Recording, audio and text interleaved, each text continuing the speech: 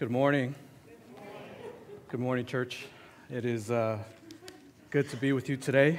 Um, for those who may be new, my name is Jonathan. I'm on staff here at the church, and it is good to see you. Uh, good to see everybody here. Uh, last week, I, I was at a church preaching in Brooklyn in Spanish. So if I start to speak in Spanish, just give me a sign. Please bow your head with me. Lord, I thank you for all that you do. We know that you are good and that you are kind. And I pray that you may be with us today. May we hear from your word. May it be true. And may you pierce through to our hearts and minds. In your son's name I pray. Amen. So I'm not sure how many C.S. Lewis fans are in the audience, but one of the books that I remember the most from the Chronicles of Narnia series is The Lion, the Witch, and the Wardrobe. And I can remember when I was in fifth grade, uh, our teacher would read the book to us, and there's a particular scene that stood out to me. It was when the armies of the Narnians and the witch are fighting. And Aslan, the creator of Narnia, had let himself be killed by the witch, and the Narnians started to become discouraged because they were losing the battle.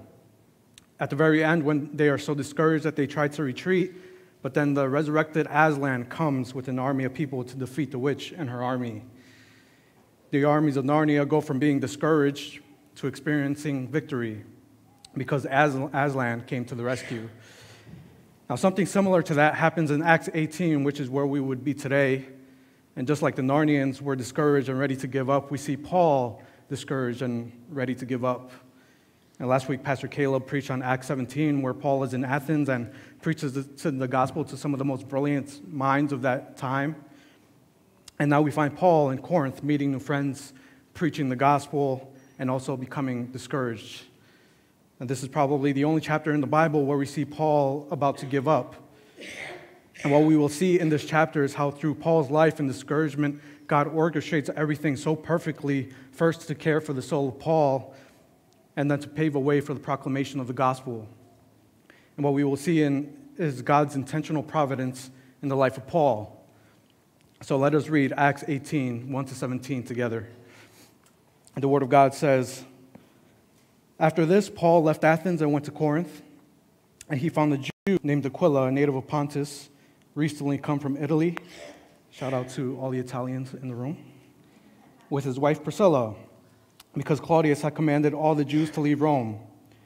And when he went to see them, and because he was of the same trade, he stayed with them and worked, for they were tent makers by trade and he reasoned in the synagogue every Sabbath and tried to persuade Jews and Greeks.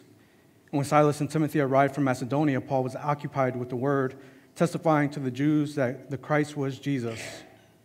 And when they opposed and reviled him, he shook out his garments and said, Your blood be on your own heads. I am innocent, and from now on I will go to the Gentiles. And he left there and went to the house of a man named Titius Justus, a worshiper of God. His house was next door to the synagogue. And Crispus, the ruler of the synagogue, believed in the Lord together with his entire household. And many of the Corinthians, hearing Paul, believed and were baptized. And the Lord said to Paul one night in a vision, Do not be afraid, but go on speaking, and do not be silent, for I am with you, and no one will attack you to harm you. For I have many in the city, in the city who are my people. And he stayed a year and six months, teaching the word of God. But when Gallio was proconsul of Achaia, the Jews made a united attack on Paul and brought him before the tribunal, saying, This man is persuading people to worship God contrary to the law. But when Paul was about to open his mouth, Gallio said to the Jews, If it were a matter of wrongdoing or vicious crime, O Jews, I would have reason for complaint. A matter of questions and names about your own law, see to it yourselves. I refuse to be a judge of these things. And he drove them from the tribunal and they all seized Sosthenes, the ruler of the synagogue, and beat him in front of the tribunal. But Gallio paid no attention to any of this. So to help you to help work through this passage, I have laid out for you guys three points. Point number one is Paul's fellowship. Point number two is Paul's encouragement. And point number three is Paul's protection. And I do have three short application points at the end. But before we get into our first point, I do want to give you some historical context that will help to put this chapter into perspective. Corinth is located in what we would call to today southern Greece. And back then, Greece was divided into two provinces. One was Macedonia, and the other was Achaia. So Corinth was actually the capital city of Achaia. So to put it in perspective, Corinth would be similar to what Manhattan is to the state of New York. And one thing about the geography of that time was that Greece was heavily fortified by mountains that were difficult to travel and was surrounded, and Greece was also surrounded by the ocean. And according to one commentator, nowhere in central or southern Greece can a person travel more than 40 miles from the sea. And because of the rough terrain of Greece and the easy access of water Corinth had, the city of Corinth actually became and was at that time the main port of trade in that province. And instead of traveling and trading by land, having to travel that rough terrain and several hundred miles, people would get to the, it made it much easier for people to transport by, by trade, by sea. And that made Corinth into a major city that was very wealthy and very rich. And, when, and what comes with major wealth is a lot of sin, which is why Corinth was also known for its very sexualized culture, which Kent Hughes says the Corinth was the Vanity Fair of the ancient world. And usually, when you have a place that has a lot of money, you have a lot of you have a sexual sexualized culture, you have greed, you have indulgence, and so forth. And you can look at Corinth like an ancient Las Vegas or New York City. And this is why when Paul writes to the first to 1 Corinthians, in 1 Corinthians, he rebukes them for their conduct. And it is also at this time that Paul is in Corinth that he writes 1st and 2nd Thessalonians. Just a little nugget of information for you there. And with that being said, let us look at our first point Paul's fellowship. So, what we see in Acts 17 after Paul is preaching in the Areopagus and he leaves Athens and travels about 40 to 50 miles to get to Corinth. It so happens that when he gets to Corinth, he meets a couple by the name of Aquila and Priscilla.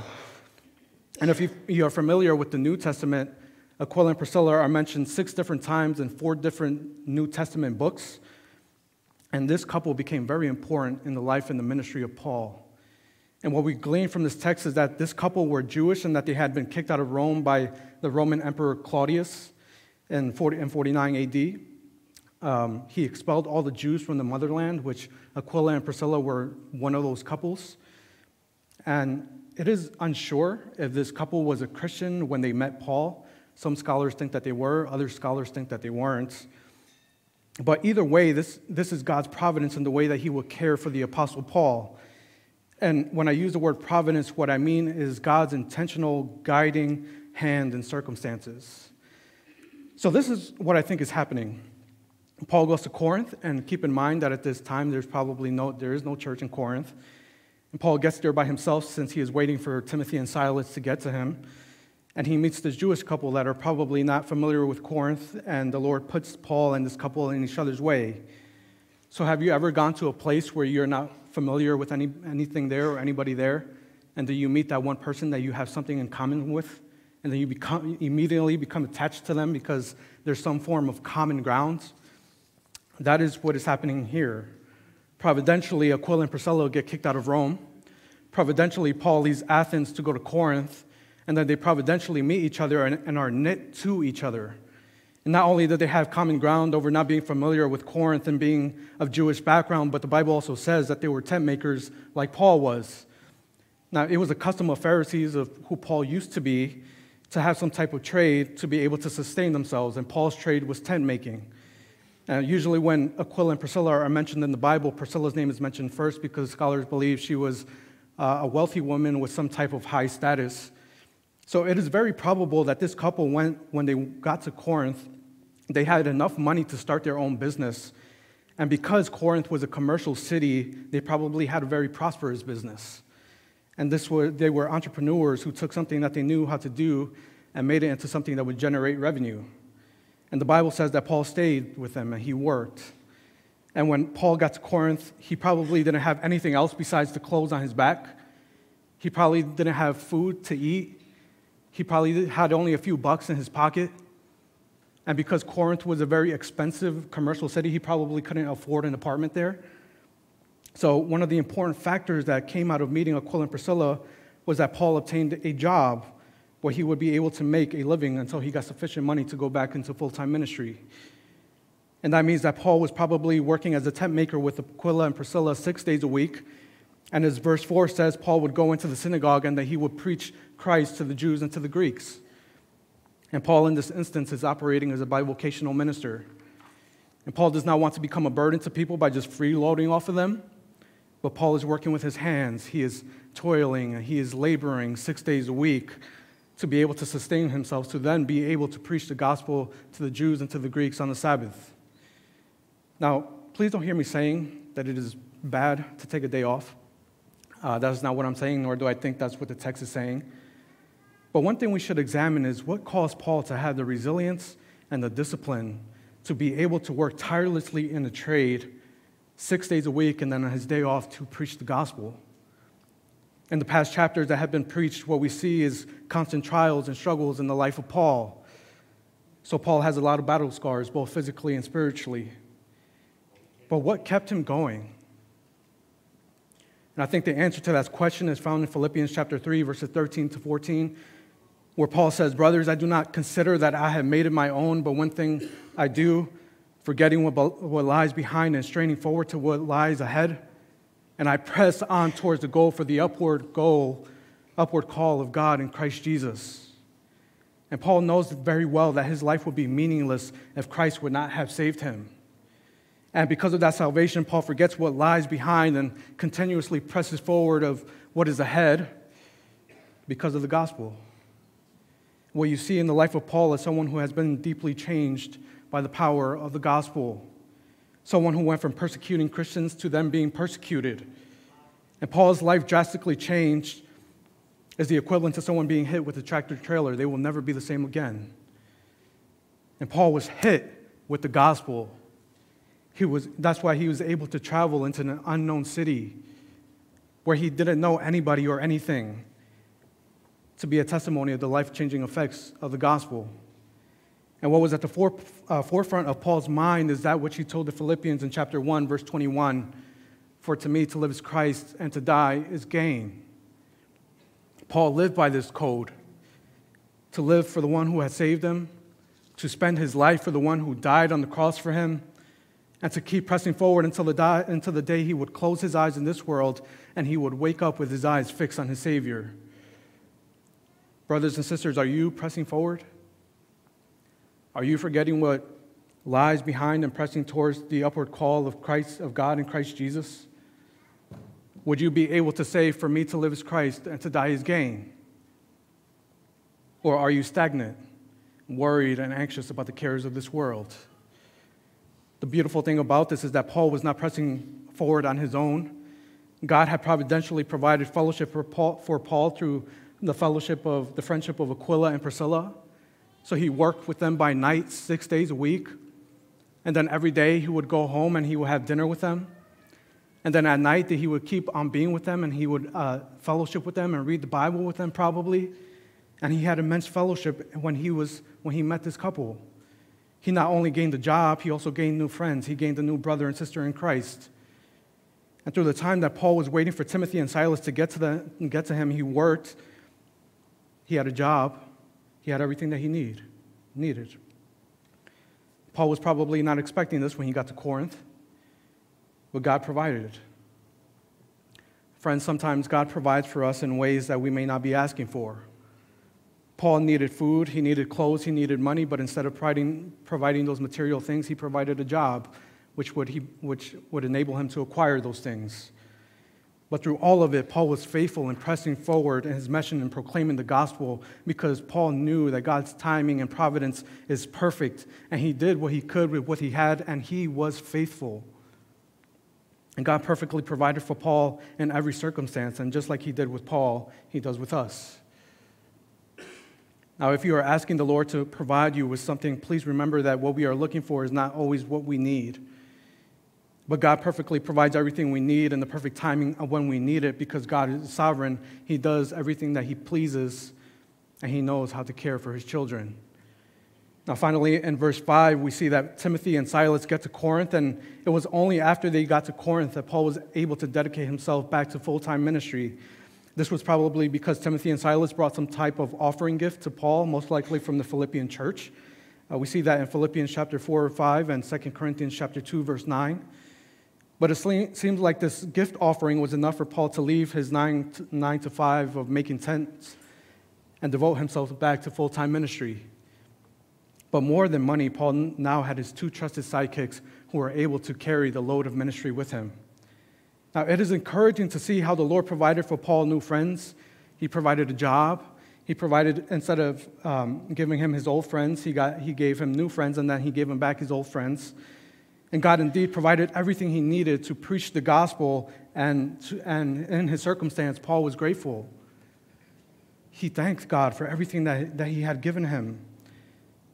But in the same text, what we see is a side of Paul that is only present in this text which leads us to our second point Paul's encouragement. Now, the following scenes from verses 6 to 11 are the main point of today's text. We will see many different ways uh, in which Paul was discouraged, and we will also glean from the text some possible reasons he was discouraged. So let's walk through this to see what, what was taking place. So, after Paul is able to leave behind his 9 to 5, Paul begins to teach in the synagogue more often. And what we see in this verse is similar to what we see in many other chapters in the book of Acts. When, when Paul speaks to the Jews, they revile him, they dismiss him, or they try to do some type of harm to him. And usually Paul just brushes it off and he just keeps on doing what he's doing. But in this verse, we actually see Paul become discouraged. And it says in verse 6 And when they opposed and reviled him, he shook out his garments and said, Your blood be on your own heads. I am innocent. From now on, I will go to the Gentiles. So, what we see in this verse is Paul actually throwing in the towel when it comes to preaching the gospel to the Jews. And he pretty much wipes his hands, cleans, and says, You know what? I tried to preach the gospel to you. I tried to bring you the good news. I tried to labor for you. But you know what? No more. I'm tired of this. Up until this point, Paul has dealt well with rejection. But here we see that he's done being rejected. His soul is tired of putting in the work of evangelizing and being turned away. He is weary of giving the message and being turned down. In our first point, we talked about how passionate Paul was and about writing to the Philippians for me to live as Christ and to die as gain. But a few verses later, we see Paul become discouraged. And that goes to show that even the great apostle at times became discouraged. The fact that he was apostle did not take away the fact that he was human, and as humans, we are very fragile. If Paul, if Paul felt discouraged, then we should not be surprised when discouragement creeps up at our door, lingering and waiting to take effects in our hearts. And maybe you even sympathize with Paul. Maybe you have been preaching the gospel to your friends or to your family members or to your neighbors or coworkers, and at the mention of the gospel, they immediately turn you down. And maybe you come to a place where you have been rejected so much where you refuse to open up your mouth again because you just are tired of being rejected.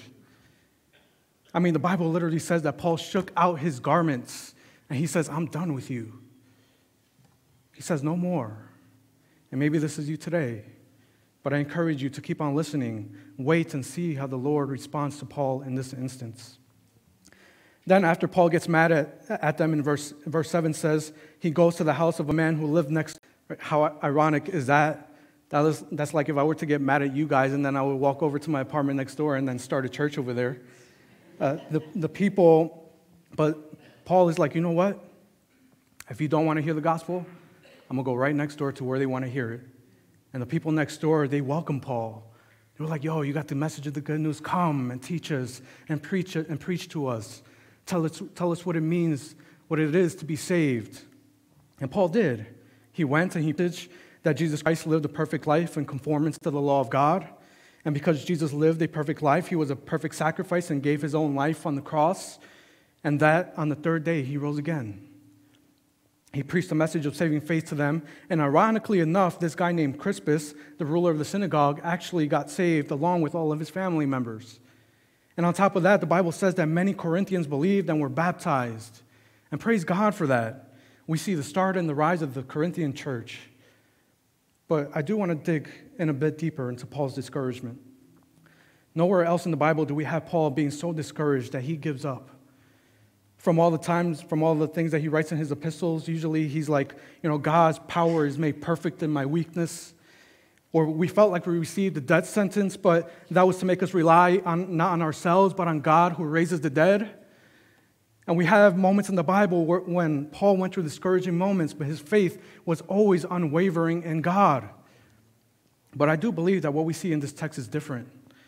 I think Paul was severely discouraged. And I mean, he pretty much tells the Jews that he's done with them. And even though Paul is still preaching the gospel, I think inwardly Paul is wrestling with whether he should stay or he should leave Corinth. And Paul is at a breaking point. He throws in the towel. He received that last blow in the fight that knocks him out. He raises the white flag, signaling that he has given up. And Paul says, I don't want this anymore. I'm tired of the same old thing. And the reason I glean that is because in verse 9, Paul has a vision of the Lord telling him, Do not be afraid, but go on speaking, and do not be silent, for I am with you, and no one will attack you to harm you. Now, why is it that Paul is so discouraged? What was different about this time than all the others? What were the main factors of Paul's discouragements? Was Paul discouraged because of what happened back in chapter 17? It's possible that Paul was discouraged that he had been pushed out of Thessalonica because people there didn't want to hear what Paul had to say. And the fact that Paul and Silas had to be sent away uh, by night probably was because there was a green light on their lives to kill on sight. And maybe Paul was discouraged because when he got to Berea and finally found noble Jews that were open to the message of the gospel, he had to leave again because the Jews from Thessalonica came looking for him. Or maybe he was discouraged because he didn't find as much results in Athens as he would have liked. Was Paul discouraged because he was rejected by the Jews? Well, even though Paul gave up on the Jews, it is evident that when he went to the Greeks, people were being saved and people were being baptized. That still doesn't take away the fact that Paul was discouraged from being rejected. If you try to be friends with someone and they reject you, but another person takes you in, that doesn't take away the, the hurt from the first rejection. Was Paul discouraged because he was feeling how hard ministry is? So before being working part time here at the church, I used to work as an aircraft mechanic. I used to work on helicopter engines, jet engines, aircraft components for a military contractor. And there have been moments where I ask myself, should I keep being in ministry? It was easier working on helicopter engines because there were no complex emotion or sin issues that took a long, a long time of prayer and, and counsel and Bible investigation to fix. Most of the problems in the engines I faced could be fixed with just ordering a new part or isolating the issue and troubleshooting it. I would go in, I would do my job, I would do my thing, I would build these engines, I would test these engines, and then I would, at the end of the day, I would clock out, I would leave, and then I would leave, live my life. But being in ministry is a job that you can't really clock out from. Your life has to be a constant example to others. And if someone calls me for counsel, I can't just say, sorry, I'm off the clock. But as ministers, we are called to live a fully devoted Christian life that we are in day in and day out. And maybe in the back, and part of me feels that Paul is feeling this. Maybe in the back of his mind, Paul is like, you know what? I should just go back to tent making. You know, maybe I should just go back to, to a regular nine to five where I can just make these tents who don't talk back to me or don't hit me. And it's possible that Paul was just contemplating leaving ministry to do a regular nine to five.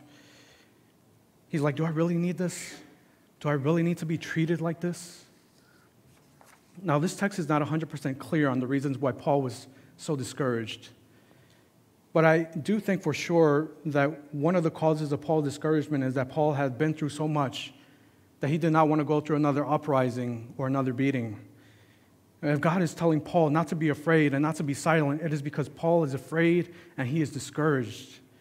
And Paul has been severely wrestling with discouragement and fear that has knocked him off his feet. And if God is telling him this, it's because he sees it in the depths of Paul's soul.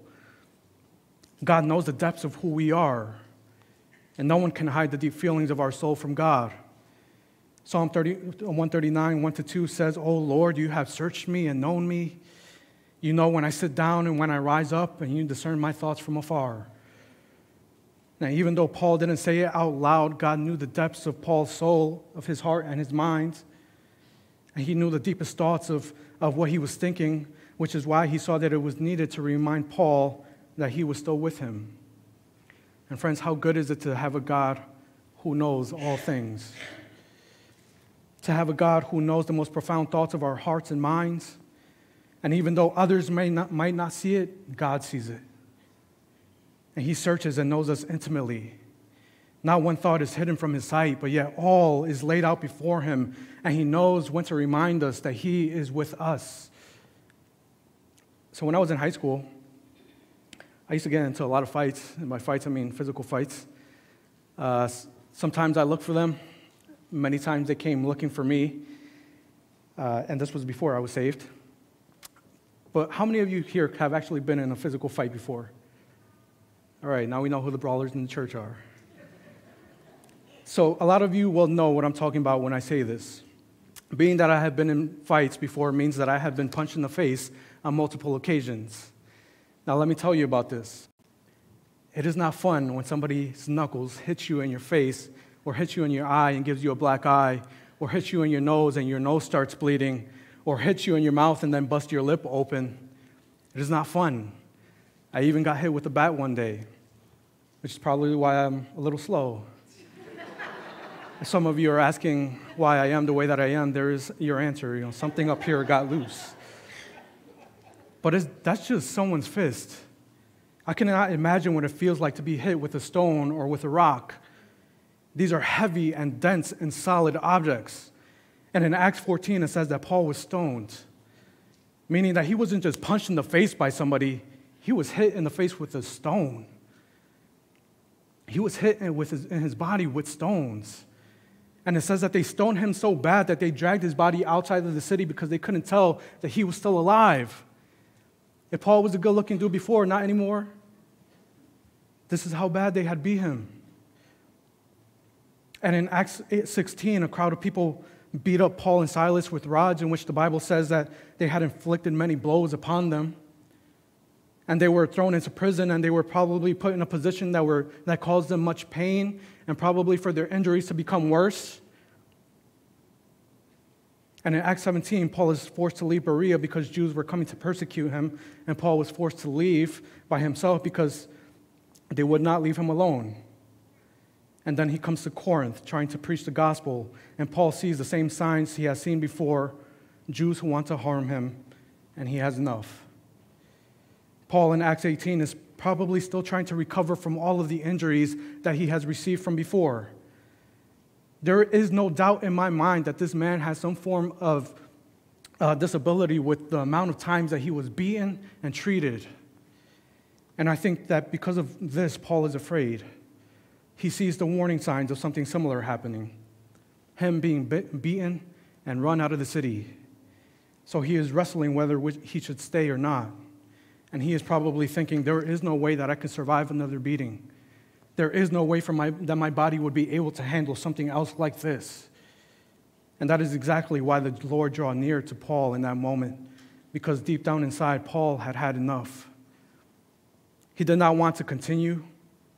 His spirit was heavy and it was burdened, and he did not know what to do. I can imagine Paul hiding under one of the tents that he had made, just reflecting on his sufferings and his trials.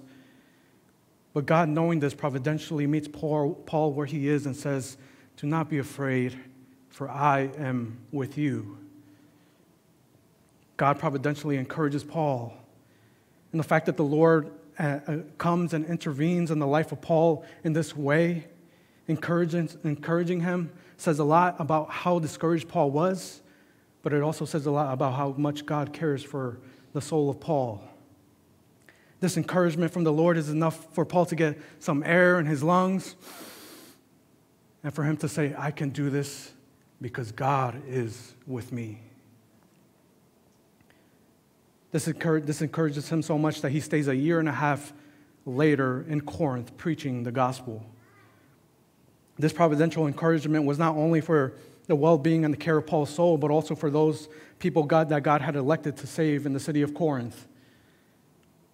God told Paul, For I have many people in this city. And when Paul got discouraged from preaching the gospel to the Jews, God said, Don't be silent. Don't keep the words of the gospel tied shut. Open your mouth to speak the truth of the gospel. And even when you don't feel like it, even when you feel tired and you feel rejected, keep on preaching. Keep on proclaiming. Keep on opening your mouth to evangelize. And God providentially encourages Paul so that he can proclaim the gospel to those he had called by his own providence. But, brothers and sisters, I'm not sure where you, where you find yourself this morning. Maybe you find yourself deeply discouraged, like Paul was. Maybe you are questioning everything that you have been doing up until this point. Or maybe you are discouraged in the ministry that the Lord has given you. Maybe you are discouraged from family members that keep you at a distance. Maybe, just like Paul, you receive a blow that knocked you off of your feet and you don't know how to get back up. And maybe you just received news of a bad medical report. Maybe a loved one just recently passed away. Maybe you have been like Paul trying to preach the gospel to your family members and friends and they just keep on rejecting you and you're just tired of the same old thing. Maybe you had circumstances in your life that knock you down, and when you try to get, uh, when you try to get back up, another one comes and knocks you over again. Whatever it could be, you find yourself deeply discouraged and afraid, wondering what to do. I want to remind you, and I want you to hear the words that the Lord told Paul in the midst of his discouragement. He says, Do not be afraid, for I am with you. Says, Do not be afraid, for I am with you. No matter what the circumstances are, do not be afraid, for I am with you. No matter how bad the situation looks, do not be afraid, for I am with you. I am not sure what hymns or songs were circulating that time. But I am sure that if Paul knew the hymns, It Is Well With My Soul, he would have been singing it to remind him of God's goodness. And the hymn says, When peace like a river attendeth my way, and when sorrows like sea billows roll, whatever my lot, thou hast taught me to say, It is well, it is well with my soul. Though Satan should buffet and though trials should come, let this blessed assurance control that Christ has regarded my helpless estate and he has shed his own blood for my soul. My sin, all the bliss of this glorious thought, my sin, not in part but the whole, is nailed to the cross and I bear it no more. Praise the Lord, O my soul. And the Lord haste the day when my faith shall be sight, and the clouds should be rolled back as a scroll. The trump shall resound, and the Lord shall descend. Even so, it is well with my soul. The Lord promised to be with Paul because Paul had believed in the power of the death of Jesus and his resurrection. And Paul was washed by the blood, which is why God drew near to him. And when we hear the words of the Lord saying, Do not be afraid, for I am with you, may we be able to respond, It is well with my soul, because Christ has redeemed us. Now, God promised to protect Paul, which is our last point and shortest point by far, which is point number three Paul's protection. Now, eventually, after some time of being in Corinth, the Jews tried to form an attack on Paul. And remember the historical context in the beginning Greece was divided into two provinces, Macedonia and Achaia. Well, this guy mentioned here, Gallio, was the proconsul of Achaia. Pretty much, he was like a modern mayor or governor of that time, of that province. And the Jews bring Paul before this governor, and they try to tra- trap him like other Jews in other chapters of the Bible. Now, something interesting about the Roman Empire and its governmental system is that when Rome would conquer people or places, sometimes they would allow people to keep their religion. They would allow people to keep worshiping according to their convictions. It was a way for them to try to mitigate the control that they had attained over the people that they had conquered. But the religions first had to be approved by the Senate. The Judaic religion was one that was approved and recognized by the Senate, so the Jews were able to still worship freely and they were still able to live their lives according to their convictions. Only that the governors would generally not get involved with the matters of, people's religions. So the Jews go to this guy, Gallio, and they plead their case before him that Paul has broken the law. And specifically, they say that he has broken, this man is persuading people contrary to the law. And God used this phrase to persuade Gallio not to get involved in what was happening. Because Gallio pretty much said, I will not get involved in any religious laws that do not particularly, particularly pertain to Rome. Now, there's two observations about this guy, Gallio. One, it is clear that the one, reason, one of the reasons he did not get involved was because he knew that the Judaic religion was one that was approved, and really he had no jurisdiction in judging Jewish law. And secondly, I think Gallio really didn't care. You know, he, he didn't bother asking what, uh, what about the Jewish law Paul had broken. He pretty much just dismissed the case. And on top of that, Jews, for some reason, jumped the ruler of the synagogue, Sosthenes, right outside of the tribunal. And why they jumped him, I don't know, probably because he failed to indict Paul. But the fact that he, jumped, that he got jumped right outside of the courthouse, of the tribunal, and nobody did anything, like if we were to look into the parking lot right now and we saw somebody get jumped, know, we would send our two biggest guys out there. We would send Steve Schultz and Dave Balzan. And as soon as they saw these two big guys, they would get scared, they would leave, and then everybody would just go about their day. I am sure that Gallio knew that something was happening. You know, one of his guards had to be like, Yo, Gallio, this guy's getting jumped outside. Should we do anything? He's like, Nah, just let it, just let it rock. Let it happen. And th- but this is very important event that happened for Christians. The fact that the Roman governor knew about Christianity and probably knew that Paul was a Christian and completely dismissed the case paved the way for Christianity to have a legal precedence among the Roman Empire. God used Paul in this instance to set up the pillars of Christianity before the Roman government. And the fact that Gallio found that no law was broken was probably was because Christianity was rising as one of those religions to be approved in the land. Which means that Christians will be able to worship freely but all that to say that every single bit of this, if you look closely, you see God's providential hands of protection over the life of Paul. It doesn't matter the reason that Gallio, Gallio did not get involved to indict Paul. What matters is that God fulfilled his promise to Paul that he made in verse 10, in which he says, No one will attack you to harm you. He promised to protect Paul, and he providentially does. Why? Because God is faithful in fulfilling his promise to protect his people. God, the sovereign ruler of the world and the universe, is watching over his people. We can sleep in peace. We can wake up in peace. We can live in peace because we know that we are being sheltered under the Most High. The Lord is our refuge and fortress, and who can penetrate that? If we trust in the Lord, He will providentially protect us, and even after we pass away, our souls will be protected because we will be with the Lord. Now, I do have three short application points for you today. Application point number one fellowship with the local church. Paul left by himself to go to Corinth, and even though, even though there was no existing church in Corinth at that time, God provided fellowship for Paul through the friendship of Aquila and Priscilla, and also through Silas and Timothy. Now, this is because fellowship is of great importance in the life of a Christian. Even though Paul was an apostle, he did not live a lone wolf Christian life.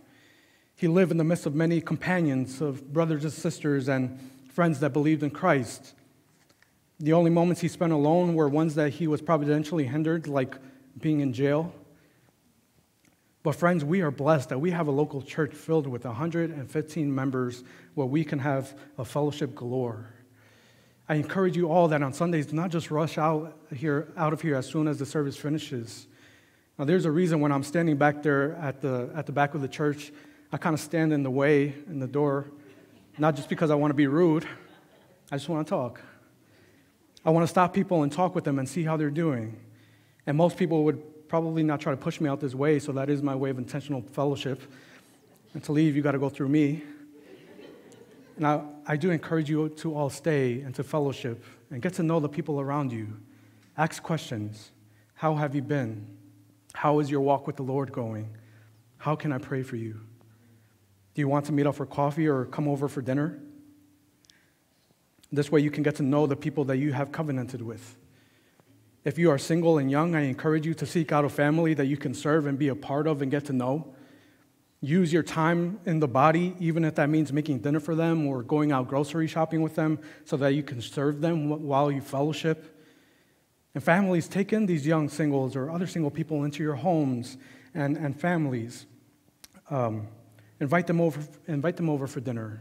Invite them over for coffee. Invite them into the mundane of your life. I cannot tell you how much my life has been impacted with the amount of families that have taken me in and literally have made me part of their family. And I when I think about the Wolfers and when they invite me over all the time, and they have invited me over for Christmas the past few years, and I feel like now it's a tradition. Or with the Neglias, who Mike was my community group leader for four years, and they made me part of their family, and he taught me all about Star Wars.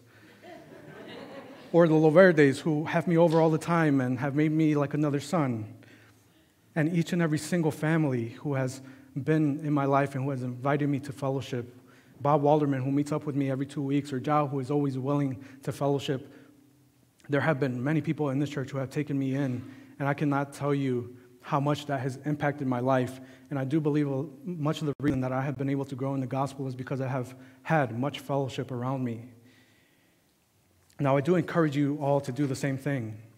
It doesn't matter. They don't have to be single people. If there's a newly married couple and you have been married for, for years and years, take in that couple and disciple them. Or if you want to get together with other families that have kids, uh, get together, fellowship, get to know one another. We need each other. I encourage you all to do that. It is important for your life as a Christian to be deeply embedded in the life of your local church so that you can grow as a Christian. Now, one of the um, application point two keep on preaching. One of the things that discouraged Paul was being rejected by the Jews. But God told him, Do not be silent, because he had many people in the city. God was telling Paul, I am with you, therefore go. Go and get those whom I have elected. Go get those whom I, have, whom I will call and draw near to myself when they hear the proclamation of the gospel. Brothers and sisters, if you have been discouraged because you have been rejected by sharing the gospel, the Lord reminds us here that we should not keep silent because God is with us. God has elected those who will come to him, and every person he elected will come to him in, in God's timing.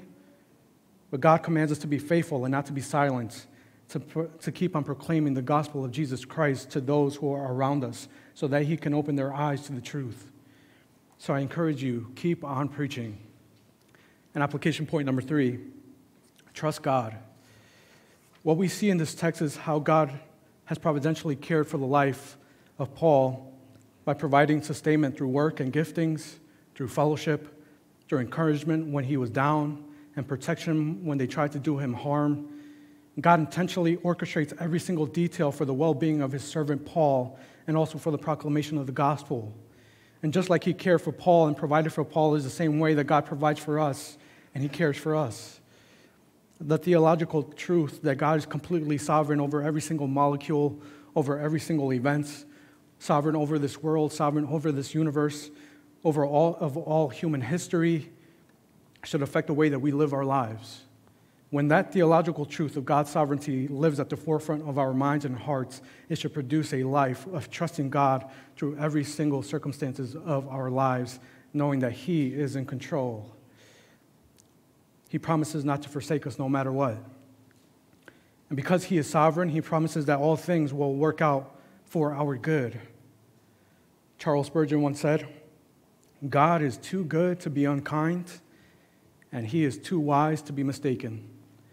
And when we cannot trace His hand, we must trust His heart. And Spurgeon hit the nail right on the head. And just to reiterate what he is saying, when you cannot make sense of the circumstances, you must trust a heart that is behind the one who sends them. Paul later wrote to the church in Corinth in 2 Corinthians chapter 4 verse 16 to 17, "For we do not lose heart, and though our outer self is wasting away, our inner self is being renewed day by day, for this light and momentary affliction is preparing for us an eternal weight of glory beyond all comparison." Church, do not lose heart. The weight, is glo- the weight of glory is waiting for us. I encourage you all to trust the Lord. Trust that He has your best intentions in His heart, knowing that He cares for you. He will never forsake us, He will never leave us, but He is with us. Now, before I pray, I just want to say if you have not trusted in the Lord as your Savior, or you have not repented of your sins, none of the sermon actually applies to you, but it can. If you have, uh, Christ said, All who come to me, I will never cast away. So if you come to Christ and you bow before him, all of the sermon can immediately, immediately apply to you. So if you want to know what it's like, how to be saved, or what it means to be saved, I encourage you to come talk to me, come talk to any of the pastors, anybody here on stage, or anybody around you. Ask, how can I be saved? Now let us pray. Lord, I thank you for this day. I thank you that even though I am an imperfect vessel, I know that your, your word does not return void. And I pray that this may be, that this reminder of your protection and of, your, of, of you encouraging us that you are with us may be with us throughout the week. Please help us to see more of your Son, Jesus Christ. In your Son's name I pray. Amen.